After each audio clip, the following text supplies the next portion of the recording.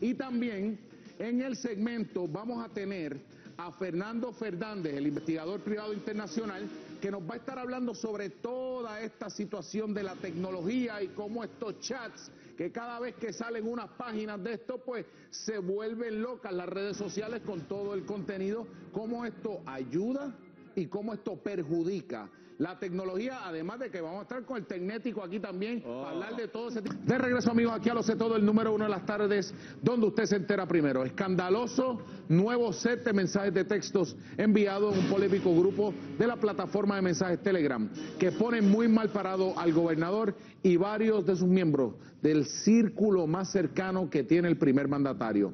Todo esto que ha estado sucediendo tiene un denominador común, la tecnología para poder comunicarse entre, estas personas, primero la divulgación del primer chat, luego la mayor parte de la evidencia obtenida por el FBI para la erradicación de cargos y si más no me equivoco, a través de correo electrónico, todo ha salido a la luz pública y luego hoy la divulgación del nuevo chat de, de Telegram. ¿Es la tecnología una navaja de doble filo? Hoy tenemos aquí a Obed Borrero, el Tech Guru, y al investigador privado internacional Fernando Fernández. Bienvenido a Lo Sé Todo. Muchas gracias. Obed, Fernando. Saludos, eh, Obed, todas estas aplicaciones eh, que dicen ser seguras, porque estas aplicaciones y estos chats son el conference de hace 30 años. Ahora pues ya todo el mundo hace una reunión por ahí, todo el mundo se comunica. Mira, eh, el tema de la seguridad es un poco abstracto y hay que ponerlo en contexto, porque dice seguro, pero ¿de qué? O sea, no es seguro de que yo pueda hacer cualquier cosa y nadie se va a enterar. O sea, es seguro en que el punto A, el mensaje que sale de mi teléfono A al teléfono B está encriptado y probablemente ningún hacker lo va a poder detectar fácilmente. Eso es lo que estamos hablando de seguridad. o sea, seguridad es que yo como tercero no me puedo meter en tu teléfono. Claro, y en, en otras palabras es como tú compras un teléfono que tiene un sistema de seguridad para desbloquearlo, pero tú no se lo activas. Tú dices, no, yo tengo el teléfono más seguro. Oye, pero es que no has utilizado correctamente el teléfono si no le pones ese feature de seguridad. Y, que lo, y lo, que vengo, lo que viene pasando aquí yo creo que es un error humano. Lo que pasó aquí realmente no es un tema de la aplicación. De hecho, mañana se mueven a otra aplicación y vuelven y meten las patas otra vez.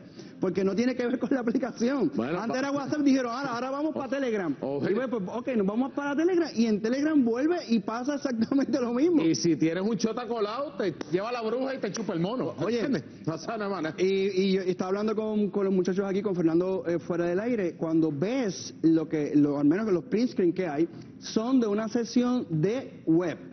Lo que significa es que no necesariamente fue un print screen de un pantallazo de un teléfono, sino que alguien se conectó a una computadora y estaba chateando desde la computadora utilizando eh, el formato de, mensajería que, facilita el proceso. Fernando, en términos, tú eres investigador privado aquí en Puerto Rico, fuera de Puerto Rico. Correcto. Eh, ¿Cuán fácil es entrar en términos de investigar esta, estos chats, estos mensajes, estas aplicaciones? Normalmente es lo que estábamos hablando él y yo, esto es el factor humano.